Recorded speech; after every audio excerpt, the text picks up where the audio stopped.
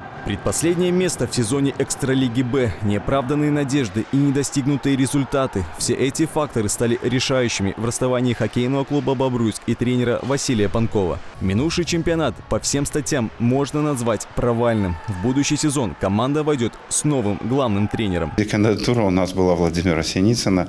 Э, она возникла в ходе, я же говорю, таких вольных обсуждений возможных кандидатур. С учетом всех факторов того, что послужной список у него хороший, хороший, э, результаты у него хорошие, э, человек он ответственный, солидный. Мы решили остановиться на этой кандидатуре. Владимир Синицын возглавлял юношескую сборную Беларуси и хоккейные клубы «Химволокно» и «Гомель». Под его руководством игроки побеждали в Кубке Беларуси и завоевывали золотые медали первенства республики. Приглашение в Бобруйск тренер воспринял позитивно.